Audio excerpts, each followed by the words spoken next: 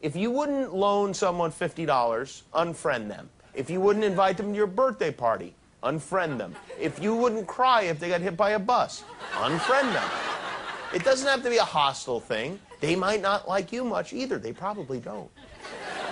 And the day to do it is on November 17th. We will all National Unfriend Day.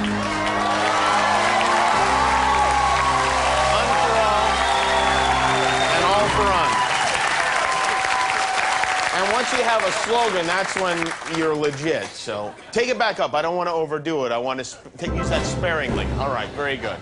So on November, November 17th, we'll join together and do a little like a spring cleaning before the holidays. And then but after Thanksgiving, maybe we'll have an unfamily day too. Not only is um,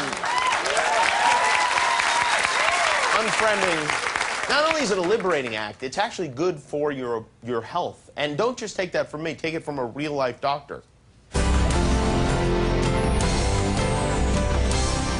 Hi, I'm Dr. Mehmet Oz. Facebook friends can lead to severe anxiety, hypertension, and possible death. This National Unfriend Day, let's stamp these silent killers out once and for all. And again, I'm a doctor. He's